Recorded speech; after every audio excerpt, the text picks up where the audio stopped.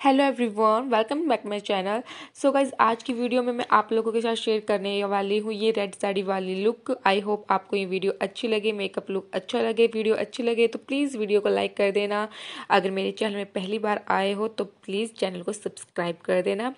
Guys इस makeup look में मैंने जितने भी प्रोडक्ट्स का यूज़ किया है, वो उन सभी का लिंक आपको वीडियो के डिस्क्रिप्शन बॉक्स में मिल जाएगा। अगर आप कोई भी चीज़ परचेज़ करना चाहते हो तो वहाँ से आप लिंक पे जाके जाके उस चीज़ को परचेज़ कर सकते हो। तो चलिए शुरू करते हैं आज की वीडियो। तो सबसे पहले मैं अपनी स्किन केयर करूँगी। स्किन केयर के लिए जैसे कि आपको पता ही मैं सबसे पहले अपने फेस पे टोनर अप्लाई करती हूँ। टोनर सभी को अप्लाई करना चाहिए।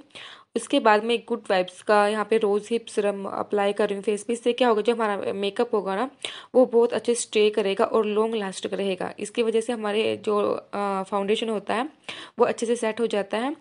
उसके बाद यहाँ पे मैं बायोटिक की लिप बाम यूज़ कर रही हूँ अपने लिप्स को मॉइस्चराइज़र करने के लिए।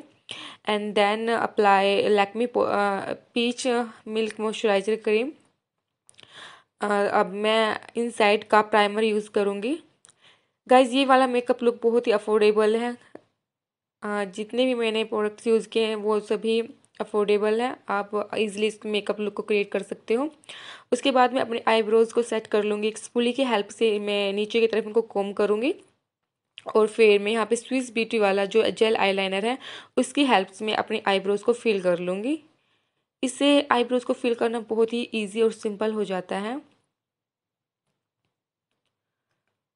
एंड उसके बाद मैं यहाँ पे कंसीलर अप्लाई कर लूँगी। अपनी जो मैंने आईब्रोज़ को सेट जो लाइन क्रिएट की थी यहाँ पे, उनको अच्छी तरह डिफाइन करने के लिए।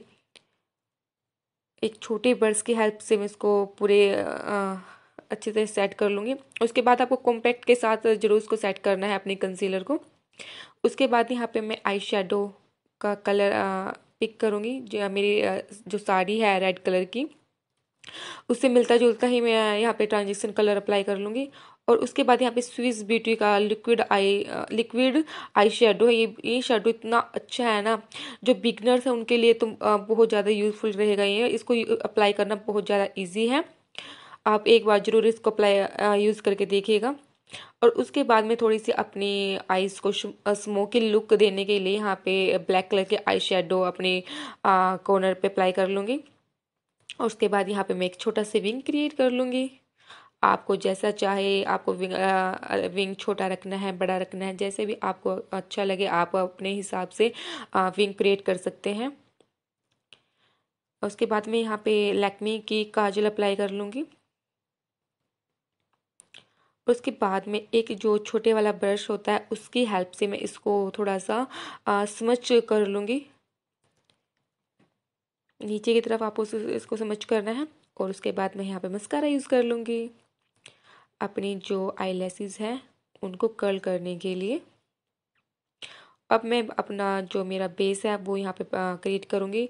यहाँ पे मैं फिटमी का फाउंडेशन यूज़ कर रही हूँ। आपके पास जो भी फाउंडेशन हो आप यूज़ कर सकते हो। फाउंडेशन अप्लाई करने से पहले ब्यूटी ब्लेंडर को अच्छे से आपने पानी में डिप कर लेना है उसके बाद यूज़ करना है।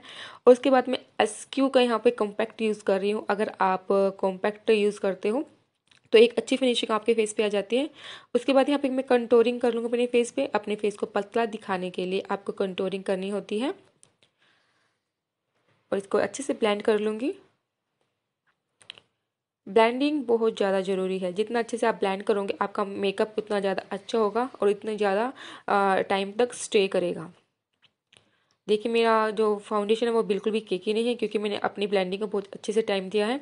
यहाँ पे जो मैंने कंटोरिंग की थी, वहाँ पे मैं ब्राउज़र यूज़ कर लूँगी। और जहाँ जहाँ पे मुझे हाईलाइट करना अपना एरिया वहाँ पे मैं हाईलाइटर यूज़ कर लूँगी। उसके बाद मैं यहाँ पे ब्लश यूज़ कर रही हूँ लैक्मे का। बहुत प्यारा ब्लश है ये। और हाइलाइटर अपने चिक एरिया को हाईलाइट करने के, अपने नोज़ को हाईलाइट करने के लिए आप हाइलाइटर यूज़ कर सकते हो। उसके बाद जो मेरे आईब्रोज़ की बोन्स है, वहाँ पे मैं थोड़ा सा हाइलाइटर अप्लाई कर लूँगी इनको अच्छे से डिफाइन करने के लिए इनर कॉर्नर को भी।